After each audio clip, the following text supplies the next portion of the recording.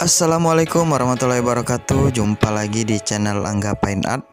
Baik teman-teman kali ini kita akan membuat video proses pengecetan Vespa Matic Yang mana pertama kali datang agak sedikit mengejutkan ya Karena kondisinya sudah seperti anak SMA kelulusan. Motornya banyak coret-coretan di mana-mana. Dan langsung saja kita proses Nah buat teman-teman yang belum subscribe silahkan di subscribe, di like, komen, dan di share ke teman-teman yang lain. Dan jangan lupa menyalakan tombol loncengnya agar teman-teman dapat mengetahui notifikasi video terbaru dari kami. Selamat menonton, enjoy for this video.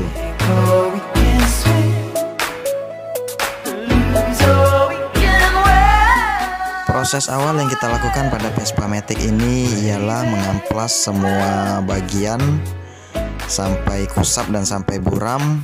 Kemudian kita pilih-pilih bagian mana yang harus kita dempul yang mana yang harus kita ratakan sehingga pori-pori motor ini kembali seperti semula guys. Baru selanjutnya kita naik ke epoksi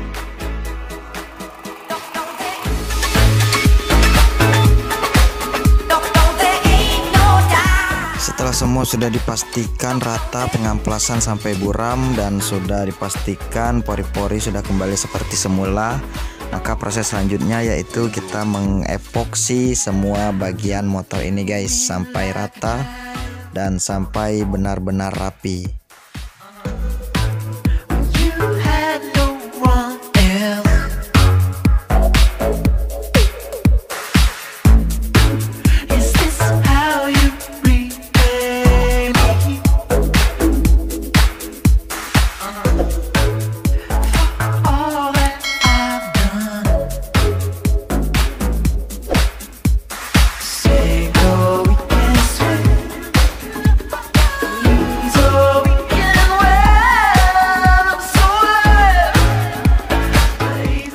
Setelah selesai kita epoksi maka kita diamkan atau kita keringkan selama satu minggu agar epoksi tadi dapat meresap dan dapat benar-benar kering guys.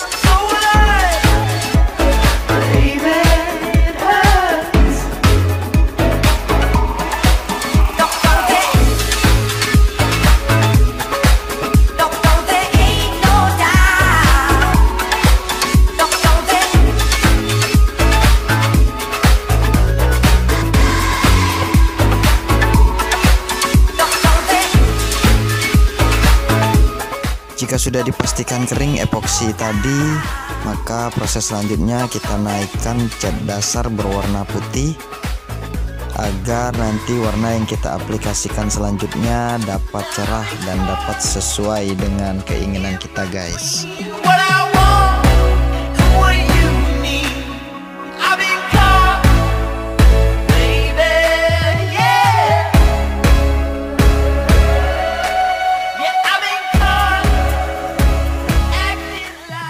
Untuk proses selanjutnya yaitu kita naikkan warna yang kita sudah inginkan yaitu warna hijau toska.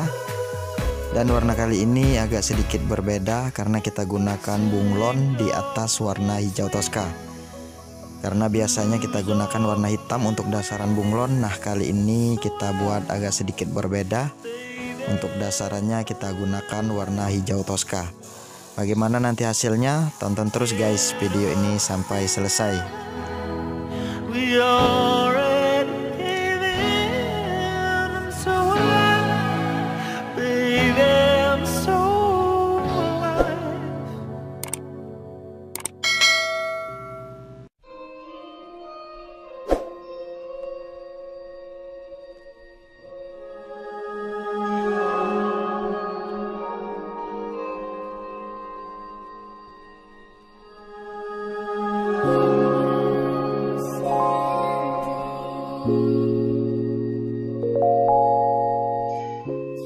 Jika sudah dipastikan kering warna dasaran hijau toska itu tadi, maka proses selanjutnya yaitu kita naikkan warna bunglon yang sudah kita tunggu-tunggu.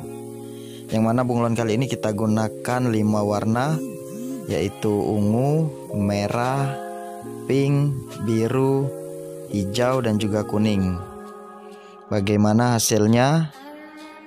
Stay tune terus dan tonton terus video ini sampai selesai guys.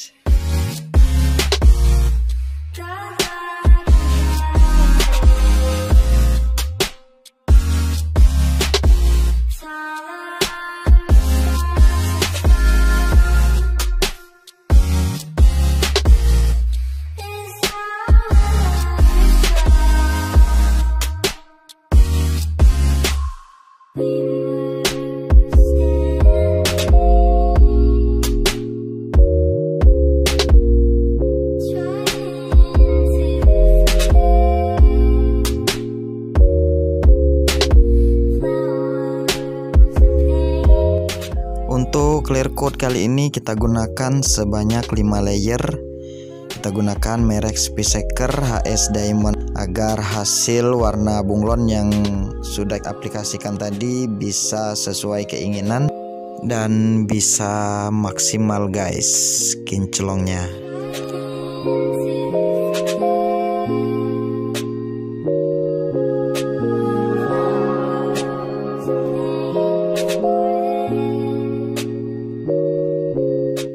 Nah setelah kita keringkan clear coat tadi selama satu minggu di terik matahari Maka selanjutnya kita lakukan finishing Poles full body Vespa Matic ini menggunakan lapis pertama kompon dan selanjutnya menggunakan kompon merek 3M Lalu terakhir kita silikon glass guys agar kilaunya bisa maksimal